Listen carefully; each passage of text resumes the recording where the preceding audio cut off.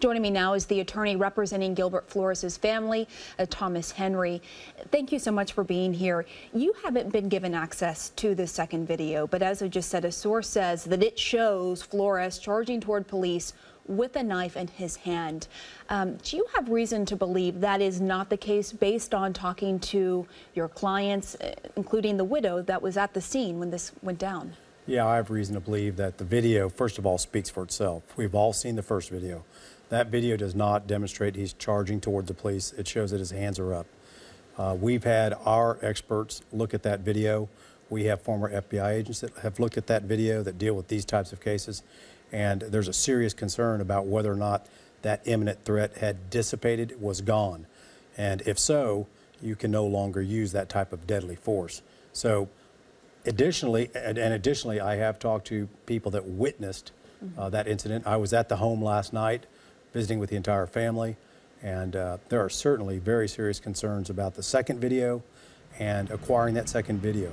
Uh, the sheriff has talked about the second video, uh, talked about there being a knife, but my review of this case with experts so far, whether he has a knife or does not have a knife, once your hands go up, once your aggression stops, the use of deadly force becomes a very major constitutional issue in this case. What has the widow told you, though? Because, like I said, she was in the home, and, and there was a 911 dispatch call saying that there was a domestic dispute, that she was injured, that Flores injured her and the baby. Well, first of all, there are some misrepresentations okay, that have occurred. so clear up the record. Uh, he did not injure a baby. Okay. That did not happen. I've met with the family, talked to the family.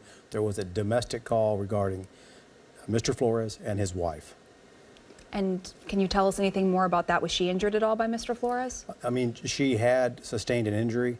Uh, the need for the officers to be there, that was warranted. Mm -hmm. there, there's no question that was warranted.